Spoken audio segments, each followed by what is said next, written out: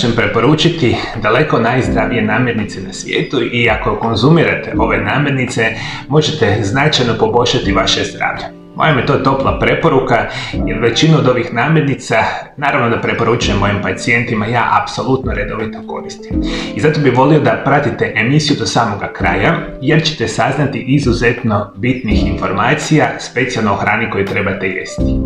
Ali prije nego što vam preporučujem što trebate jesti, želim vam reći što se smatra zdravom hranom.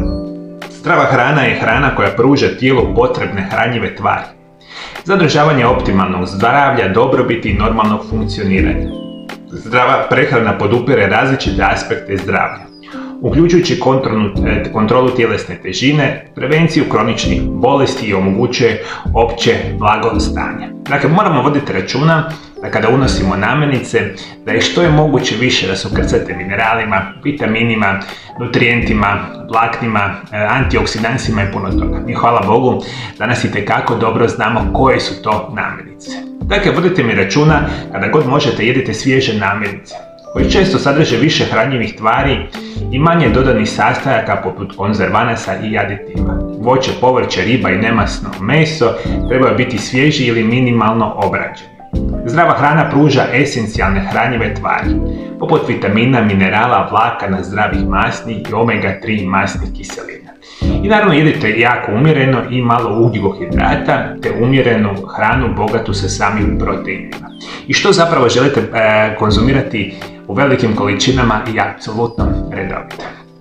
Prva skupina namirnica koje su jedne od najzdravijih namirnica na svijetu je nešto što mi nazivamo zeleno lisnato povrće Zeleno listato povrće je istinski dragulj prehrane. Bogat je izvor esencijalnih sastojaka koji pružaju neprocjenjive koristi za zdravlje. Ovo raznovrsno i šareno povrće predstavlja srž uravnotežene prehrane, te igra ključnu ulogu u podržavanju tjelesnih funkcija, prevenciji bolesti i promicanju vitalnosti. Zeleno lisnato povrće oborilo širokim, ajmo tako reći, aspektom i diapanom samih nutrijenata. Krcate mineralima, krcati su vitaminima, krcati su vlaknima, sve što apsolutno želite u svakodnevnoj prehrani za optimalno zdravlje i normalno funkcioniranje tijekom jednog dana. I zato ću vam preporučiti što se smatra zelenim listnatim povrćem. Apsolutno razmišljajte o kelju, Kelj je izuzetno hranjiv, povrtni, e, zeleni e, povrće sa sadržajem e, visokim vlakana vitamina K, vitamina C i antioksidanasa. Dolazi u različitim sortama, uključujući listnati kelj i kelj pupčar. Apsolutno špinat. Špinat je bogat vitaminima A, C, E i K, te sadrži značajne količine folata, željeza i kalija. Blitva je izvor vitamina A, C i K, te vlakana apsolutno u istu skupinu spadaju nešto što se naziva sama brokula. Ovo je sve nešto što je izvanredno i što bi svima vama preporučio da redovito konzumirate. Još jedna vrsta koja spada u e, samu kategoriju zelenog listanotog povrća, apsolutno razmišljajte o salatama, specijalno o samim zelenim salatama. Razmišljate da postoji nešto što naziva ledena salata ili iceberg lettuce je vjerojatno najpoznatija vrsta zelene salate. Ima hrskave i svjetno zelene listove i blagog je okusa. Iako nije najbogatija hranjivih tvarima, u usporedbi s nekim drugama vrsta, često se koristi kao osnova za razne salate. Rukola ima karakterističan pikantan i orošasti okus. Maslačak Listovi maslačka mogu imati gorak okus, ali su bogati vitaminima A, C i K, te kalcijem i željezom. Matovilac, endivija, e, apsolutno zelene salate kao sa hrskavim lišćem, rimska salata i puno toga. Dakle, sve što znamo i da vi znate možda e, da su zelene salate redovito i konzumirate. Specijalno kada je, rekli smo, svježe ubrana salata. Svi vi koji imate dostupnosti e, ovakvog vrsta povrća apsolutno redovito konzumirati. Generalno kada razmišljamo, e, povrće je namirnica koju mi želimo daleko najviše jesti u jednom danu, a apsolutno želite redovito konzumirati zeleno lisnato povrće. To je moja preporuka broj 1. Moja preporuka broj 2 će biti da redovito uzimate nešto što se nazivaju probiotici ili probiotička hrana. Možda ne znate, ali fermentacija je proces koji se koristi za proizvodnju nekih od omiljenih svjetskih namirnica i pića. Kroz proces fermentacija hrane dala je našim predsima mogućnost produljenja svježine žitarica, povrća i mlijeka, koji su im bile dostupne tijekom različitih godišnjih doba.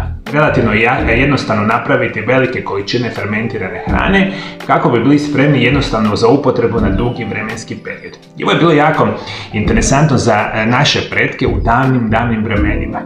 Jer onda nije, nije bilo mogućnosti stacionirati i skladištiti hranu na dugi vremenski period. Naravno nije bilo hladnjaka, frižitera, zamrzivača i upravo ovaj proces fermentacije u raznim namirnicama značajno produžuje e, dakle, vijek trajanja namirnica, što je još bitnije, onda procesom same fermentacije u same namirnice ulazi veliki broj bakterija zdravoga tipa koji značajno poboljšavaju naše zdravlje.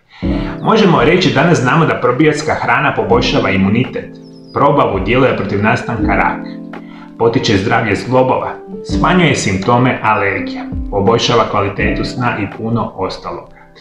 Mikrobi koje dobivamo konzumiranjem probiotičke hrane pomažu u stvaranju zaštitne sluznice u crijevima i štite od patogenih čimbenika kao što su salmonella i Escherichia coli. Ono što još morate znati, dakle, vi kada redovito uzimate probiotsku hranu, osim što značajno poboljšavate vaš imunitet, značajno prirodno djelujete na kontrolu onoga šećera u vašoj krvi. Jer jedan od onih velikih opasnosti modernog čovjeka je enormna konzumacija samoga šećera, rezistenciju na inzulin i diabetes. Dakle, rezovitim konzumiranjem probiotske hrane, bolji imunitet, smanjivanje rizika od rezistencije na inzulin. I prvi probiotski napitak koji želite konzumirati bit će kefir. Kefir je fermentirani mliječni proizvod. Napravljeno kravlje kozijeg ili ovčeg mlijeka koji često ima okus kao jogurt. Prednosti kefira uključuju pružanje visoke razine vitamina B12, kalcija, magnezija, vitamina K2, biotina, folata, enzima i probiotika. Kemi se konzumira više od 3000 godina i apsolutno je nešto što ja obožavam koristiti. Ja osobno koristim kefir većinu godine, praktično svaki dan jer je izuzetno ukusan, nevjerojatno hranjiv e, dio naše prehrane i vi ga danas jednostavno možete konzumirati uz hranu namirnice. Dakle, kefir je fenomenalan e, probiotik, ja ga osobno preporučujem. Dalje što vam je izvanredno, biti će što veliki broj vas e, voli, a dio je probiotske hrane biti će kiseli kupus. Kiseli kupus je fino isickani kupus koji je fermentiran bakterijama mliječne kiseline. To je jedna od najstarijih tradicionalnih namirnica i popularna u mnogim zemljama, osobito u istočnoj Europi. Ima kiselka slan okus i može se čuvati mjesec, mjesecima u hermetički zatvorenoj posudi. Osim probiotskih sostaja, kiseli kupus je bogat vlaknima, kao i vitaminima C i K, također je bogat natrijem, sadrži željezo i sami kali, što nećete zapravo vjerovati. E, kiseli kupus svi ga znate, redovito ga koristite je savršena situacija. Postoji veliki broj e, probiotske hrane koji se koristi diljem svijeta i što možda veliki broj osoba u nekim drugim krajevima svijeta nisu upoznati. Postoji savršeni probiotska hrana koji se specijalno koristi u zemljama dalekoga istoka. E, preporučujem nešto naziva tempeh. Tempeh je fermentirani sojin proizvod i tvori čvrstu pljeskavicu čiji je okus opisan kao oraščast, zemljan ili sličan onome gljivama. Tempeh je podrijetlom iz Indonezije, ali je postao popularan širom svijeta kao zamjena za meso sa visokim udjelom proteina. Dalje ću vam preporučiti kimchi, je fermentirani začinjeni korejski prilog, te miso je japanski začin. Miso je fermentirana pasta od soje i morske soli i e, uz dodatak pokretačkog enzima koji se naziva koji. U Japanu od poštuju se kao jedna od najvjednijih namirnica za održavanje dobroga zdravlja, kao i zbog hranjivih tvari, tako i zbog medicinske e, vrijednosti, nevjerojatno bitna situacija. Dakle, e, kimchi, e, zapravo tempeh i sami miso su izvanredni probiotska hrana. Dalje što postoji nešto što se naziva kombucha. Kombucha je jedan isto tako napitak podrijetlom iz Azije, nevjerojatno je krcat probioticima i ukoliko imate slučajno šansu ga redovito konzumirati, značajno ćete poboljšati vaše zdravlje sa probioticima. Dalje razmišljate, postoji nešto što se naziva kokos kefir ili recimo NATO. NATO je popularno jelo u Japanu koje se sastoji od fermentirane soje. Sadrži izuzetno snažni probiotik koji se naziva Bacillus subtilis za koje je dokazano da jača vaš imunološki sustav, te podržava kardiovaskularno zdravlje i poboljšava probavu vitamina K2 što i kako želite jesti. Evo još par jednostavnih situacija, super zdrave hrane koje krcata sa probioticima. Prvo će biti jabučni ocet, možete ga redovito konzumirati, specijalno ukoliko imate mogućnosti uzimati jabučni ocet sa nečim što se naziva majka. Super. Dalje, e, kiselo fermentirano povrće je genijalno, recimo kiseli krastavci, e, kisele masline, kisela paprika, sve što znate da su kiselo ili fermentirano može vam značajno poboljšati vaše zdravlje. Dakle, moja druga preporuka će biti redovito konzumiranje probiotika i probiotske hrane kao najzdravije hrane na svijetu. Moja treća preporuka će vam biti divlje ulovljena riba. Ova hranjiva namirnica bogata je esencijalnim hranjivim tvarima i zdravim mastima čineći je ključnom sastojom uravnotežene prehrane. Divlje ulovljena riba poput lososa, skuše, sardine i tune sadrži obilje omega-3 masnih kiselina poput EPA, eikozapetalna kiselina ili DHA, doko zekak keksalna kiselina. Ove masne kiseline su ključne za zdravlje srca, podržavajući normalan e, ritam srca, smanjenju upalu, regulaciju krvnog tlaka i puno toga. E, ono što specijalno što želimo dakle konzumirati ribu i ako ikako moguće da bude divlje ulovljena riba. Jer je velika razlika između ribe koju vi konzumirate, jedete koji su iz uzgajališta, što je puno manje kvalitetna riba, ali riba koja je divlje ulovljena može značajno poboljšati vaše zdravlje ako je konzumirate minimalno 1 do 2 puta tjedno. E, zdravu ribu smatrajte tuna, losos, kuša, specijalno atlantska, sardina, bakalar, oceanski smuć ili kamenjar, list ili verak, kamenice, pastrva, inčuni, pacifički halibut, som, mahi mahi, artički čar, jakobove kapice, škamp, Školke, lignje, sabljake, rakovi jako su dio, ajmo reći, zdrave prehrane. Uz ribu, naravno imate ove morske plodove, školjke, e, rakovi. Ako slučajno ste u prilici konzumirati ovakvu vrstu hrane, može vam značajno poboljšati vaše zdravlje. Preporuka broj 3. preporuka broj 4 koje namirnica koje itekako želite konzumirati biti će zdrave masnoće. Masnoće su ključne komponente prehrane koje često nose negativan pristup. Ali istina je da postoje zdrave masnoće koje igraju ključnu ulogu u podržavanju optimalnog zdravlja. Ove esencijalne hranjive tvari pružaju energiju, podržavaju tjelesne funkcije i pridonose zaštiti srca, mozga i drugih važnih organa. I zato dakle vodite računa da vidite kako u vaše tijelo želite konzumirati zdrave masnoće. A što mi smatramo zdravim masnoćama? Prije svega i u najvećem situaciji vi ćete konzumirati recimo ekstra djevičansko kokosovo ulje ili ekstra djevičansko maslino ulje. I ovdje veliku e, napomenu želim vam reći. Dakle, nisu sva maslinovo ulje, kokosovo ulje i ostale zdrave masnoće iste kvalitete. Najlošije kvalitete su ono obična kokosova ili maslinova ulja. Tražite, ako ikako moguće, ekstra djevičanska kokosova ili maslinovo ulje, još ako je hladno, prešano, izvanredna situacija. U zdrave masnoće kako spadaju avokado ulje, bučino ulje, makadamija ulje, orahovo ulje, laneno ulje, izvanredna situacija. Jeste shvatili moji dragi gledatelji? I postoji još cijeli niz drugih namirnica koji su izvanredno e, bitne za vaše zdravlje i ako ih koristite u umjerenim količinama možete značajno poboljšati e, i generalno sačuvati vaše zdravlje. E, dvije vrste namirnica su super i ako ih koristite kao organskog podrijetla značajno ćete poboljšati vaše zdravlje. Tu spadaju orašasti plodovi i same sjemenke. Razmišljajte da orase, lješnjaci, bademi, pistacije, brazilski orašići, indijski orašići, kikiriki i pekani se smatraju orašanskim plodom.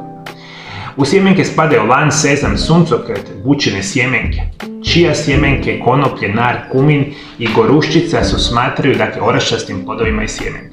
Osim brazilskih orašića koje smijete jesti 2 do 3 dnevno, većinu ostalih smijete konzumirati u jednom danu koliko stane u dlan jedne šake. Dakle, svih ukupno kada zbrojite, nemojte prebacivati jednu dozu koja vam stane u dlan jedne šake. I to ćete pojesti dnevno, možete čak miješati orahe, bademe, pistacije, sezam, kako god, e, smijete redovito i umjereno konzumirati. Još vam želim malo napomenuti e, što se tiče samoga voća. Voće vam je izvanredno ako ga konzumirate u umjerenim količinama. Konkretno znači, e, studije pokazuju dnevno nemojte više konzumirati od jednu do dvije voćke dnevno. Dakle, jednu bananu, jednu jabuku, recimo dvije banane. Dakle, slično. Razmišljate da većinu voća smijete jesti umjereno i onda ste na super situaciji. Još dvije jako bitne informacije. Gljive kao što su reiši, gljive šitake, čaga, majtake gljive. Morel, portobello, tartufi, Kordice, slavlja, gljiva, vrgnjanji, bukovača, lisičarke su izvanredno e, zdrave namirnice. I naravno, e, možda, zapravo ne možda, nego u potpunosti sigurno, začini.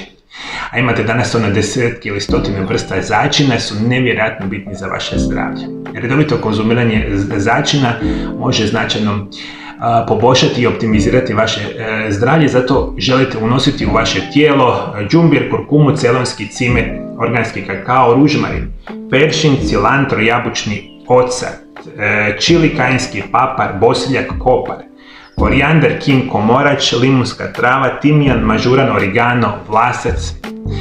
Što da vam kažem, slobodno začinjavajte hranu koju pravite, znači da ćete poboljšati vaše zdravlje. Evo moji dragi gledatelji, ovo je popis mojih namirnica za sve vas e, koji ja skupljam znanje za njih 20 godina o zdravom načinu života i zdravoj prehrani. Ako ovo redovito konzumirate, možete očekivati e, značajno poboljšavanje i optimiziranje vašeg zdravlja.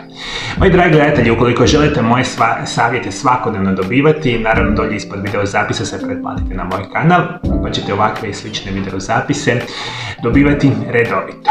I prije nego što odete, moji dragi gledatelji, Postoje određene vrste hrana koje su izuzetno loše za naše zdravlje.